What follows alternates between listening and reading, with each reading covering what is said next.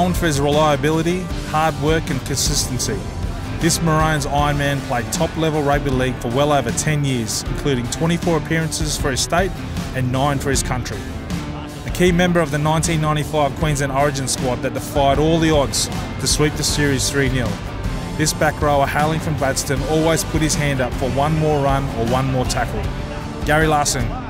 So, Big Larso, it's great to uh, have you in the car, mate, with us, mate. Thanks for joining us. Bloody Petro, mate. My pleasure, mate. Mate, and I, I've got to tell you this, I'm going to be honest, mate, but uh, I'm going to just let you know that um, a bit of a fanboy moment here for me because, uh, you know, growing up uh, in the 80s and, you know, early 90s, you know, obviously State of Origin was a massive part of my uh, my childhood, you know, sitting on the lounge room floor like every other Queensland kid of that, that yes. era. Yes. But mate, you know, you were you were one of my favourites because uh, I just um, loved uh, everything you did. You stood for Queensland, and you know, I loved the fact that you know, whenever New South Wales were always talked about and talked up as being going to be the dominant side in, in, whatever Origin series you played in, you always stood up, mate, and Good you always uh, you always gave it your all. So I reckon this is a big moment for me, and I reckon also for my dad too. So Petro Senior, I know you'll be watching this, but we love watching you, mate. You're, you're one of our favourites. So uh, I'm going to make sure at the end of this, I'm going to get a photo for dad. Yep, all right, yep, yep, that's all right. We'll go right back to the start, mate. So. Um,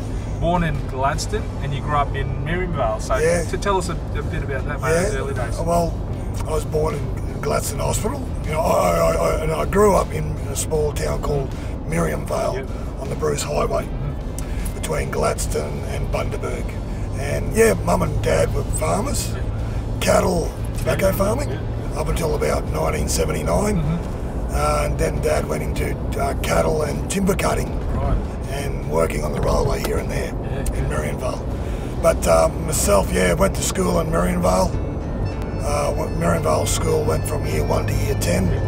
Yeah, we got into everything. Yeah, good place to grow up. Eh? Yeah, swimming, holidaying down the beach. Agnes Water 1770 was 45 minutes away from us.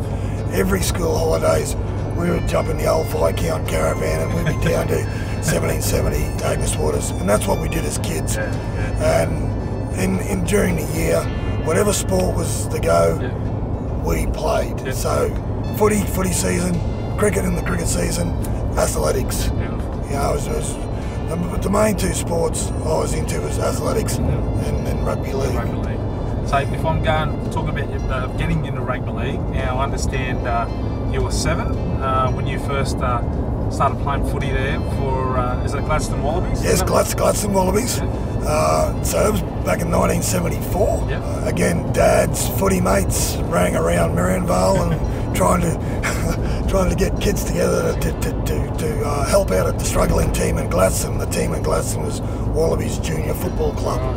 And yeah, it all started off at under eights Wallabies. Uh, went through right till about I left for boarding school. I played league right up until about under 14s. Yeah, Had a couple of years off with athletics. Yes. Uh, I was a 400, 800 metre runner. And then I went to boarding school. Played rugby union. I made Queensland country. I made an Australian schoolboys under 17 side. Uh, Ricky Stuart was in that same side. Believe it or not, I was playing on the wing. I was a centre in my younger days. you go. There you go. I had a bit of speed, Petro. At the end of the end of the day, that's where it all started in Gladstone. Yeah. Yeah. Just talk to me about um, those trips that you Trips, did as a yeah. junior. Like that, that's it's a big, you Yeah. know, responsibility of your mum and dad, and then all the other families as Oh, well to, sure. to get you to all these training Yeah. sessions and that. Yeah, look at the, at the end of the day, uh, you know, Gladstone from Miriam Vale is it's only an hour, Hmm. but back then the, the roads weren't that crash hot. Yeah. You know, you know, country roads, Yeah. country roads like like we're on now. Yeah. Probably a little bit worse than what we're on there, but it's like this. So Tuesdays and Thursdays up to Gladstone after school, Yeah. And that's the same on Saturday mornings. The footy, and if mum and dad, you know, they're in the they're in the crop crop industry, tobacco, Yeah. cattle. Um, if they were busy, my, my brother and myself, Chris, we used to get a ride up um, with, with another family. Yeah. And that's what we did. We just country people help each other out, Share it out. share it out. Yeah, Yeah, yeah, yeah. not only for, for club footy, but rep footy was the same. Exactly. You know, when the rep season was on, you know, it was, it was a busy time, a busy, a busy four to six weeks where every weekend you were probably Gladstone were playing Rocky, which was two hours north of Gladstone, or going to Bundaberg, uh, Emerald, yeah, Emerald, Blackwater, uh, Central Highlands was was say for three and a half, four hours out west, Moura, um, Biloela, they were all uh, yeah good good couple hundred k's away, and, and that's where it all started, Petro. You know, playing rep footy, uh, th- right through from under 10s, under 12s, under 14s, and uh, you know, creating mateships that have lasted for a long time and still there. you, you think about uh, the sacrifice of your, your, your parents, your selflessness of, of Oh, them, yeah. and, and, and but Yeah. just the community coming together to try and get you guys to, to sports. You know, it's Yep. it's uh, it's amazing, and it's probably something that I reckon is resonating through a lot Yep. of the chats that I've had with all our legends. It, You know, it is, mate. It's the same thing I've done for my kids. Yes. In there, you know, my daughter was a netballer. You know, I've travelled backwards and forwards to Brisbane. I don't know how many times in a car. It's something that you do, Yeah. and as a proud parent, That's it. if you if your if your son and daughter uh, have got uh, an inch of talent, yeah. you do the best for They them do the best, yeah, that's it. Was it a big bit of a culture shock um, going from, you know, from from home now you're, you're into boarding school, that boarding school life? Yes, yeah, very much so, mate. I, I was homesick, and you know, Rocky was only 100, 130 k's away. But it was it was one of those things where boarding schools, like you go into any new environment, you've got to uh, earn respect Yeah. of your fellow uh, people, Yeah. And uh, and yeah, I had to earn respect, and it was good that I played sport. I think I went to boarding school for sport. Yes. It wasn't so much the academic Yeah. uh, side of things, Petro, but uh, I fitted right in there. You reached the heights in your school uh, school sport, didn't you? You, you played Australian schoolboys. Yep, yep. And then athletics as well. You, you made a, Yeah, well, few in, rep in- sides of that. yeah, in under 12s, under 13s at state level, I, I, I ran uh, state level I, won a state championship in, in the 800 as a 12 year old. So that, that, that background, that athletics background, I think that created that fitness background Yeah. that I had They gave that in the game. Yeah, yeah, yeah. because I had an athletics coach and all we did for training was, was, was 400s. Yeah, yeah. And as a 12, 13, 14 year old, I think I had pretty good discipline. And then I still today, that fitness discipline is still with me. Yeah. So it's, it's hard for me not to do something, That's it, that's it. whether it be walking my golden retriever Yeah. or doing push ups and sit ups, yeah. doing something. Yeah. Mate, and you know, that doesn't surprise me, you know, that I was always amazed at your work rate, you know, like whenever it just looked like the Blues were tiring, uh, didn't matter what club game you're playing, and always you could always count on Gary Larson because he was just kept marching forward. And so, yeah, you credit that athletic background for just giving you that base and, and that fitness level Yeah. that, that sustained you throughout your whole career. Yeah, it, helped out enormously. Yeah. Because if you didn't have that fitness base and you wanted to go and bludge on the blind, that was quite easy to do. Yeah, yeah, But also, you know, you you, were, you, you could be picked out Yes. where you were. exactly. You can't hide in that arena. Now you've gone from Rocky Grammar. Now you went back to Gladstone for an Yes. apprenticeship. Yep, I uh, did. I, after school, um, as I said, I, I, I, I managed to pass, just pass Just pa- just pass. at school. Yeah. So yeah, went back to Gladstone and immediately got back straight back into rugby league at a local club side there called. Uh, I played under 19 Valleys for a year. Yes. and then um, went over to A grade the next year and played with a club side called QASC Red Devils. So, so 80, 85, 86 I played league, Yes. and yeah, I, I had a pretty pretty good couple of years. Uh, you're a big fish in a little pond. Yeah, that's it, eh? It's, it's funny, I double signed with QASC Red Devils in Miriam Vale. They had a local A grade side, and I was in Gladstone playing league. When I wasn't in Gladstone playing league, I played league in Miriam Vale. Miriamvale happened to have a successful season that year. They played in an exhibition game against the Bundaberg Grand Finalists. It was a good game. I played well.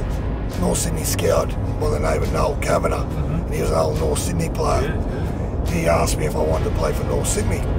You never know who's watching you on the sideline. Yeah, yeah, there you go. And you know, at the end of the day, that's where it all started. It's unreal. And um, I, I made uh, CQ Capras A grade side. In '86, the beginning of '86, and then um, it's played in the state league. Yeah. So it's played against sides East, Yeah. Ipswich, Yeah. Wynnum Manly. Oh, the day we played against Wynnum Manly.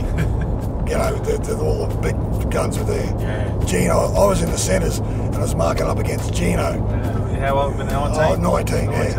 And I think- your hero. Yeah, Your hero. yeah. standing right there. Yeah, and um, we played Redcliffe too at Marley Brown Oval. Yeah. Uh, Steve Cherry. Um, there, there- there- were some big names, Big names, in the Redcliffe side.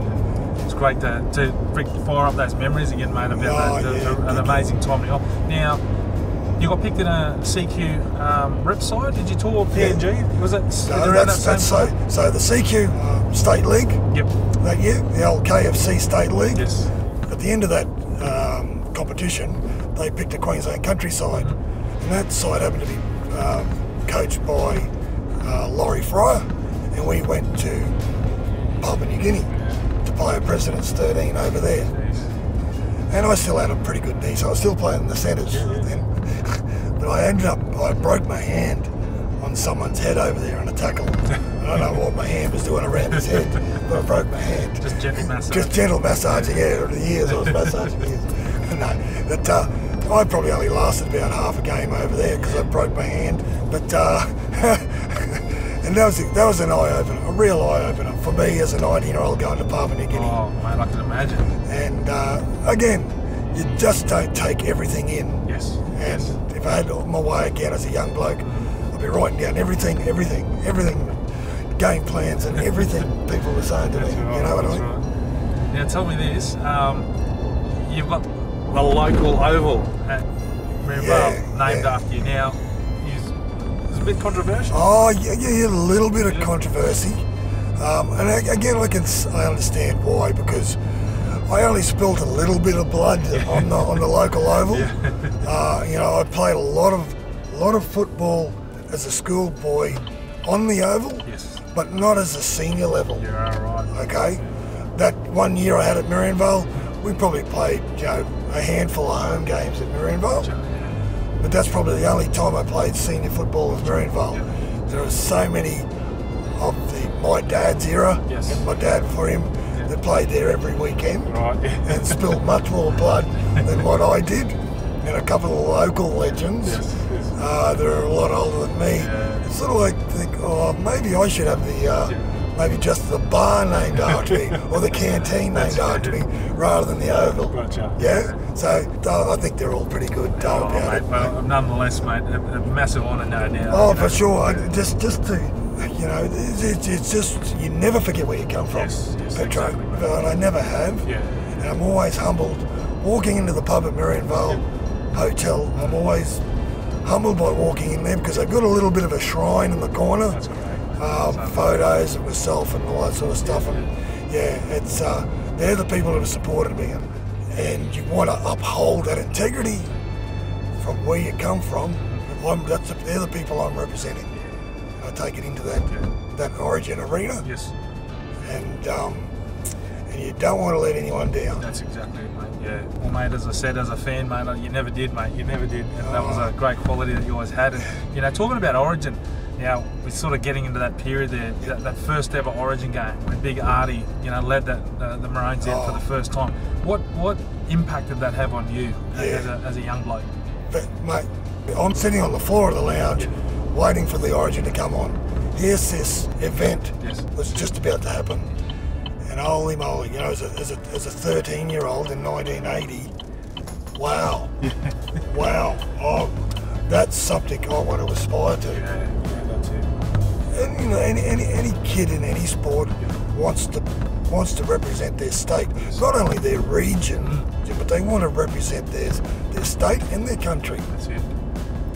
and I'm very, very privileged to have done that. Yeah. I think my brother and I ever end up playing a game of football in front of the origin. you know, whenever there was a break, you know, you'd, you'd lean over and whack him. Is it? You know, Yeah, yeah, we're, we're, we're 30, yeah, we're th- 13 and 12 year olds. There's only a year difference.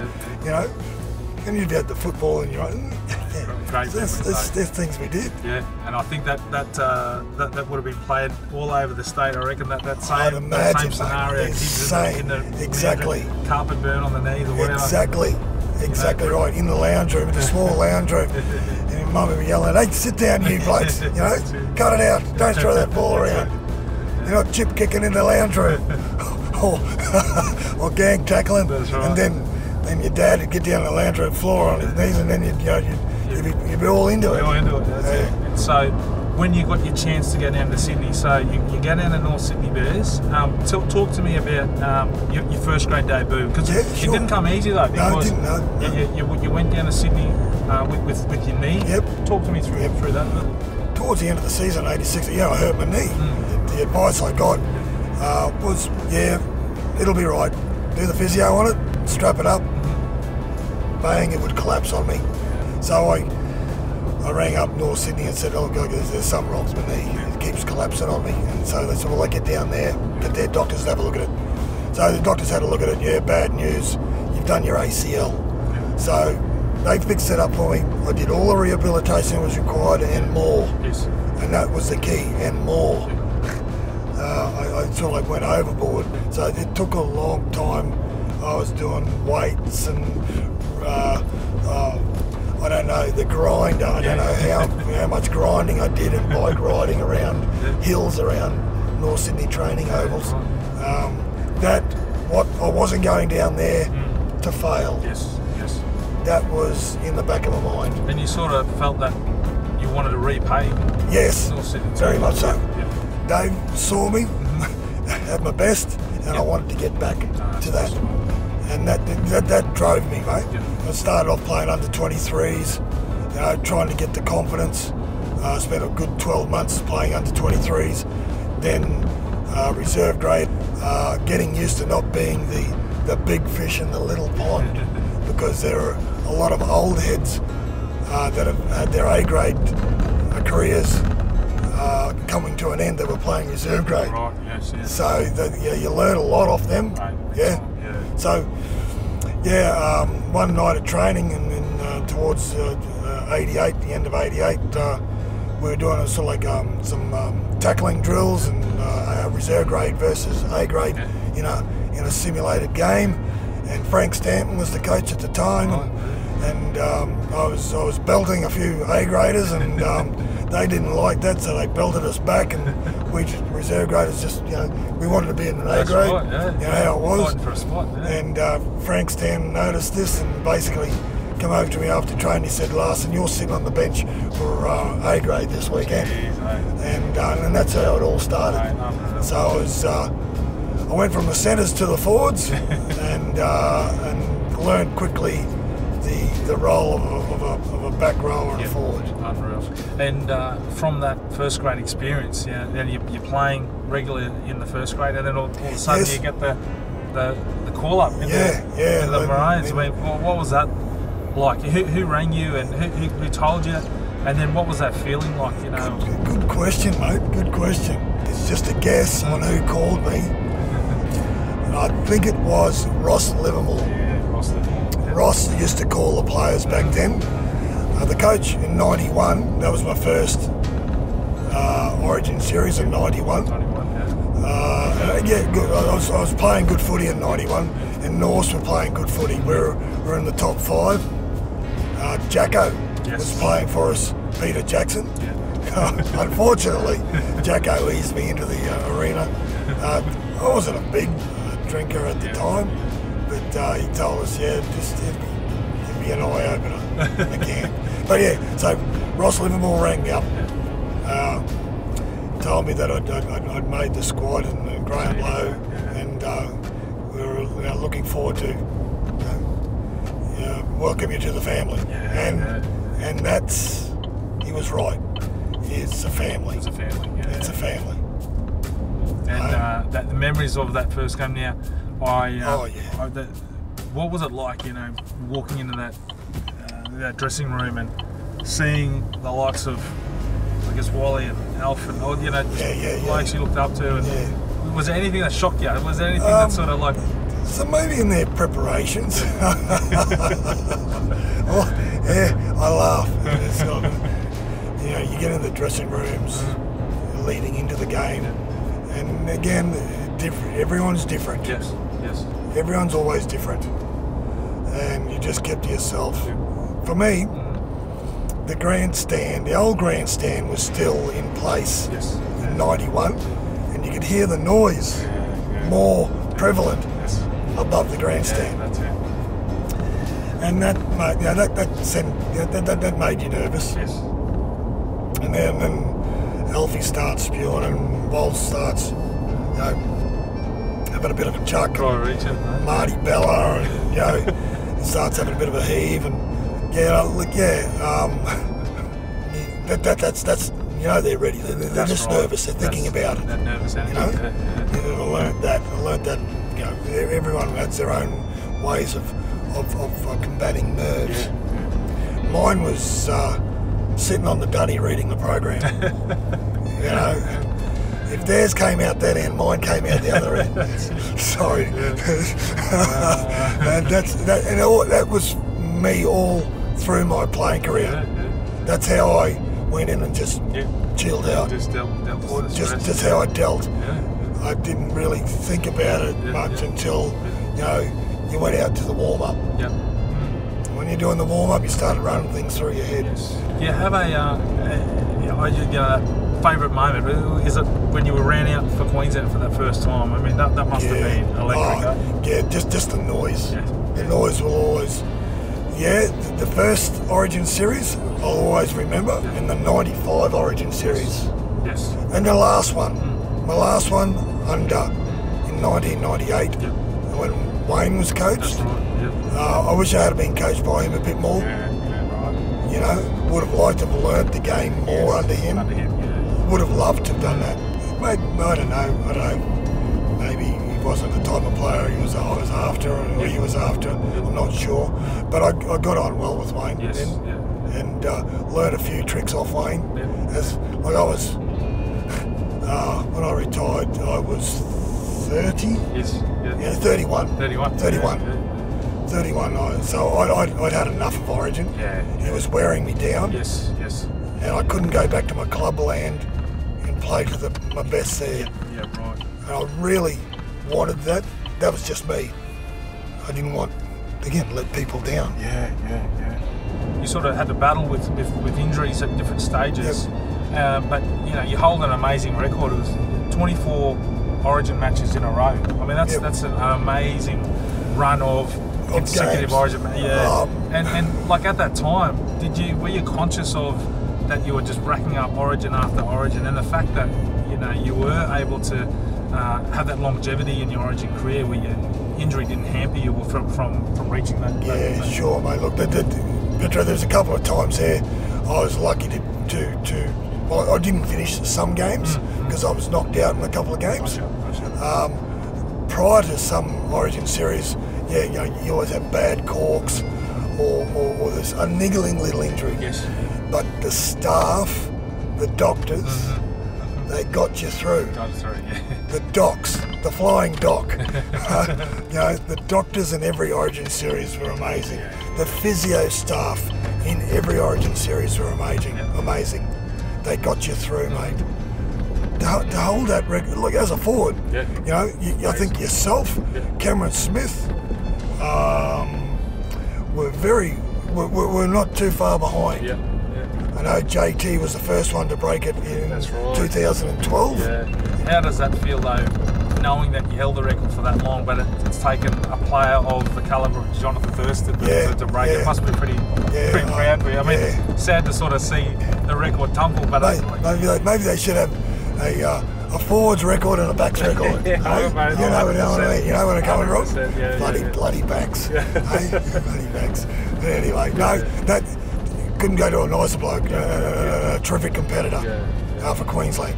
you finished your Origin career, um, went on, retired from from uh, NRL, and then where, where did life take you after Right. that? Yeah, well, uh, in, in no man's land for a little while. Mm-hmm. You know, just um, trying to come down off the, the whole environment that